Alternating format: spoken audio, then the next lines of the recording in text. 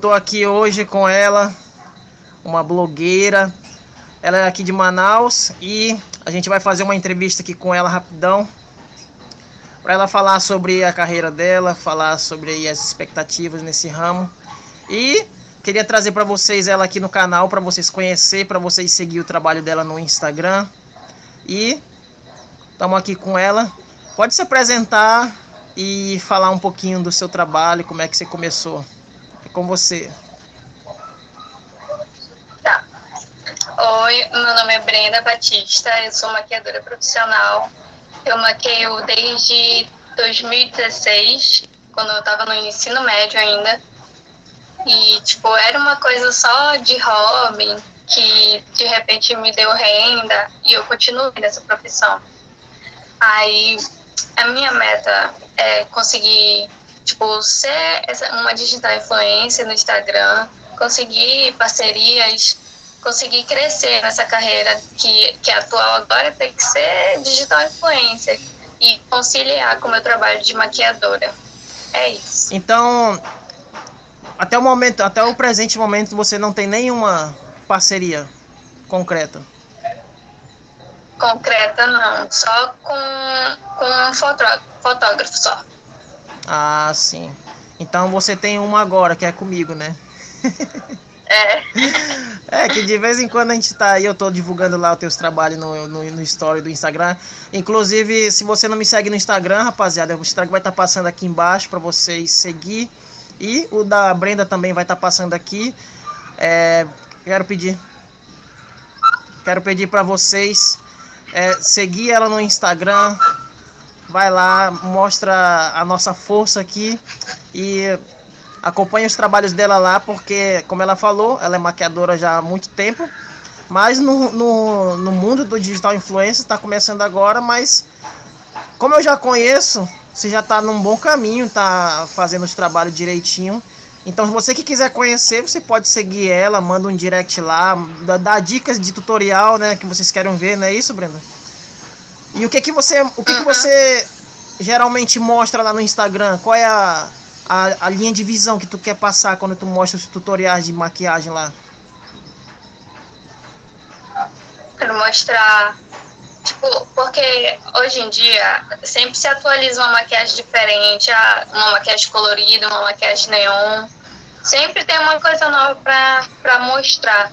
Então eu tento sempre tentar atualizar como eu comecei agora nesse negócio de, de, de Instagram, uma coisa é, é muito difícil. É tudo muito novo, Ter então, um né? engajamento todo dia, toda hora, tá lá falando com todo mundo, postando, postando.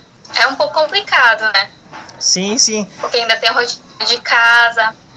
Aí tem que conciliar tudo, né? Aí, é isso que eu tô tentando fazer. Isso. Aí eu sempre tento mostrar carisma, é, uma maquiagem legal, uma qualidade boa, tentar ensinar uma pele, um, um, olho mais fácil, porque tem gente que gosta de ver o tutorial para aprender, não só para estar tá lá tá Sim, vendo. Para fazer, para fazer na, na própria pessoa, né? Isso. E e no caso das pessoas que é, quiser solicitar o teu trabalho, como é que elas fazem? Ah, eu, eu deixo certinho um link que vai direto pro WhatsApp. Ah, lá na bio do Insta, né? Na descrição, na bio, isso. Aí tem lá agendamento no link abaixo. Aí tem um link lá certinho. Ah, e esses, esses tempos agora que nós estamos em, é, praticamente a maior parte do tempo em casa, apareceu algum trabalho ou como é que tá? Não, tá muito devagar, porque geralmente quem pede maquiagem é para um evento, para sair. Então, como ninguém tá saindo, uhum. aí, aí não tem trabalho. Então, por isso que eu tô investindo mais nesse negócio de blogueira e tal, de digital influencer. Tentar engajar mais assim, para talvez depois que a pandemia acabar, eu consiga mais trabalhos. Entendi. E qual é a tua linha de, de profissionalismo dentro da maquiagem? Tu faz todo tipo de maquiagem ou tem um ou dois temas assim, digamos assim, temas que tu é mais profissa na hora de maquiar? Ou tu maquia de tudo um pouco? Eu, eu, eu sou melhor em maquiagem social, que é a maquiagem básica, a maquiagem de festa, é, maquiagem social, que as pessoas geralmente usam. Tipo, maquiagem artística ainda não, ainda não entrou nesse ramo aí. Ainda, eu, eu ainda não tentei, na verdade. Ainda não fiz nenhum curso sobre maquiagem artística, que eu acho uma coisa muito bonita, mas bem difícil de fazer. Entendi. Mas na, na área que tu já é bastante craque, é, dá pra. É que eu mais. Tipo assim, se a pessoa é solicitar eu... um tipo de maquiagem, tu consegue fazer, tranquilo. Sim, consigo fazer tranquilo. É, até porque. O, o, Só é uma questão de. Oi? Até porque eu tava olhando teu Instagram uns, uns tempos atrás, né? Aí eu tava vendo lá que tu tava fazendo aula ou dando workshop, né? Sobre maquiagem, né?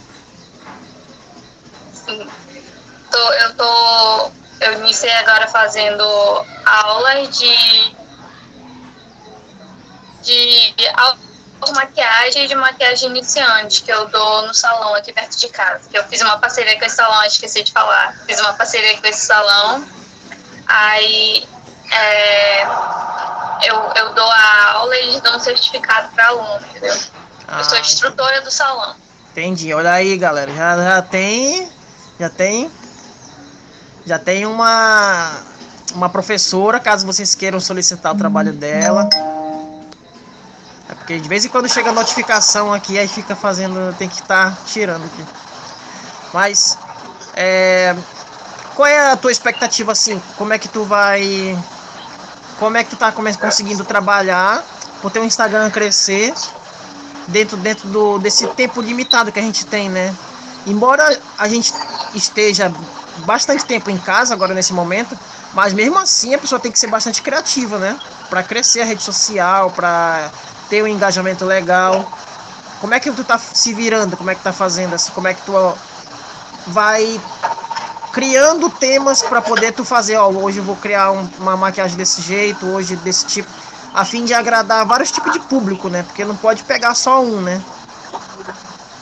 Como é que tá se virando nesse Sim. momento agora? Eu, eu tento pegar um caderninho e anotar ou então salvar inspirações, que eu sempre vejo inspirações, inspirações de maquiadores, uhum. é, de digitais influencers, porque agora os digitais influencers também são maquiadores.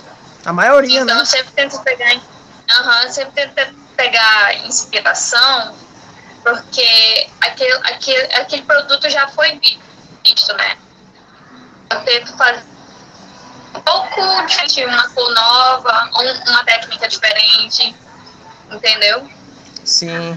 Então, tipo, vai seguindo, vai seguindo na mesma linha. O que uma pessoa já fez, tu faz para poder tentar ficar aqui, pegar o. Eu faço, eu faço tipo do, do meu jeito, do jeito que eu conheço. Sim. Porque nenhuma maquiadora tem a mesma técnica. É, então. Nem o mesmo jeito de maquiar.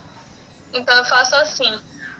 Eu, eu tô tentando agora fazer, é, tentar mais interagir com as pessoas para elas ver o que elas querem lá, entendeu?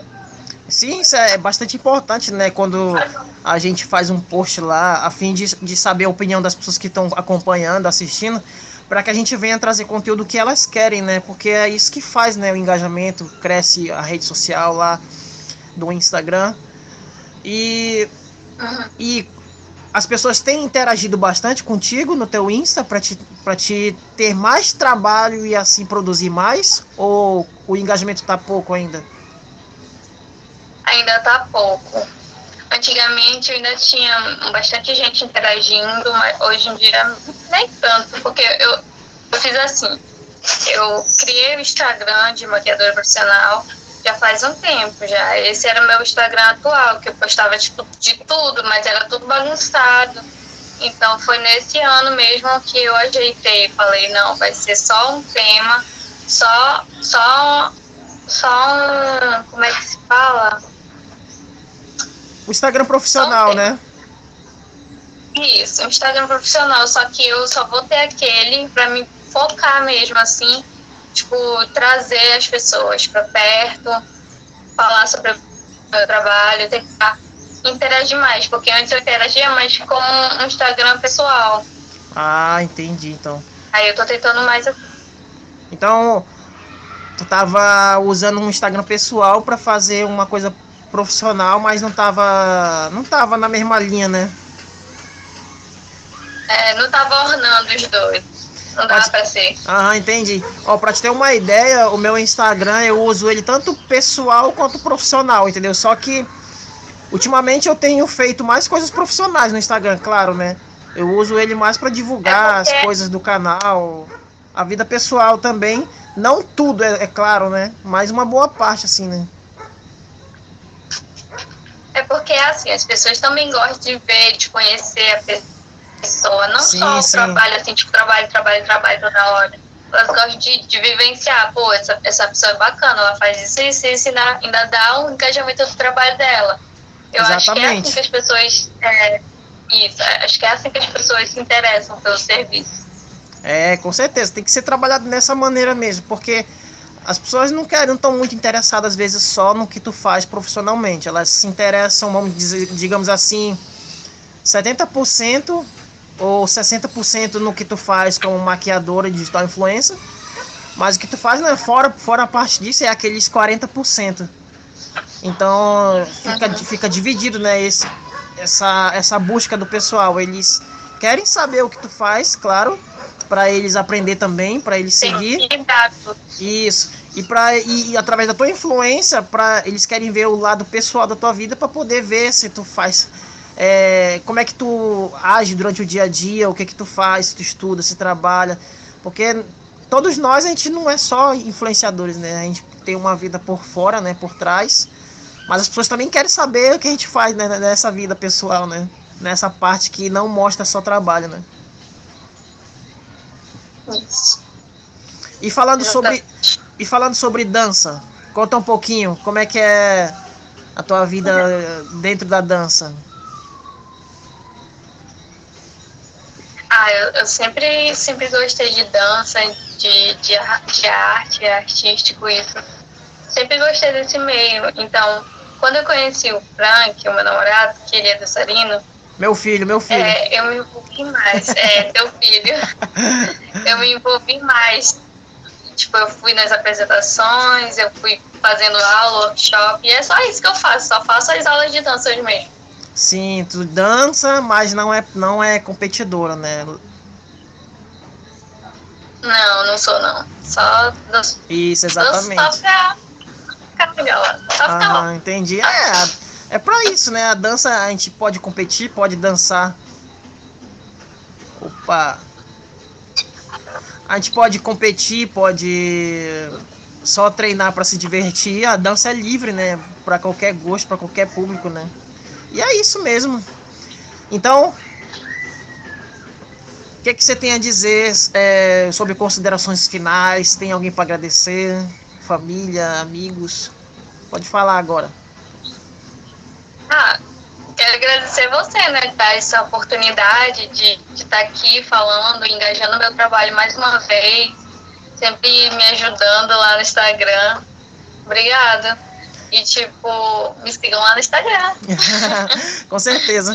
É isso, acho que a gente daqui de Manaus tem que se ajudar um aos outros para poder ir crescendo todo mundo junto e quando tiver todo mundo todo mundo bem tiver todo mundo bem é, com um público enorme a gente vai poder criar mais coisas mais conteúdos a fim de passar né todo esse trabalho que a gente faz para as pessoas usufruir disso e saber né da nossa rotina acompanhar e é isso galera Segue a Brenda no Instagram, o Instagram vai estar tá passando aqui. É, eu queria agradecer ela por ter se disponibilizado aí para gravar essa entrevista aqui. Em breve vou trazer outros influenciadores, outras influenciadoras aqui também de Manaus, outros, outras pessoas influentes aí aqui no meio da dança, da maquiagem. E é isso, tem muita gente ainda para trazer aqui. E é isso. Só agradecer também tu aqui, Brenda. É, obrigadão mesmo. E continua com o trabalho, não para jamais. E se precisar aí de ajuda, só falar. Só uma dúvida, tu, tu também maqueia homens? Ou só mulher? maquiei homem, mas se surgir, eu acho que eu consigo. É porque ser. homens é uma maquiagem mais. É, menos elaborada, muito, assim, muito né? É, não é tão é. detalhada, né? Isso. Mas tem. Tem homem que se maquia, né? Claro. As pessoas bem vaidosas. É, então. Curto. Eu uso bem pouquinho maquiagem, mas é quase nunca. é mais pra filmagem, assim, né? É, então. Mas é isso. É, mais uma vez te agradecer. É, se cuida nesse tempo agora que nós estamos aqui na pandemia, em casa e tal. E é isso. Manter a mente boa. Isso, exatamente, né? Ficar em casa não é 100% bom, como todo mundo diz, né? É, não é tão bom, não. Pois é, exatamente. Mas é isso, gente. Obrigado, Brenda, mais uma vez. Ó, os gatinhos dela estão ali atrás, dando um rolê ali. Mas é isso aí. Tamo junto, até a próxima. Sigam ela no Instagram, vai lá, manda um direct, fala pra ela que vocês conheceram ela através do, do canal aqui. Muita gente não conhece ainda, então tem essa oportunidade de conhecer aqui. Não perde a oportunidade de chegar lá e manda um direct pra ela. Fala que você quer marcar um trabalho. Quer maquiar a namorada agora nesse, nessa, nessa época dos namorados, né não? Os homens têm que dar esse é. presente para as mulheres, né? e dar as ideias, né? Pode chamar, Isso. à disposição. Mandar ideia para ela lá para ter trabalho, para ela maquiar muito e mostrar os tutoriais aí. É nós. É nóis. Beleza, tchau, tchau. Tchau.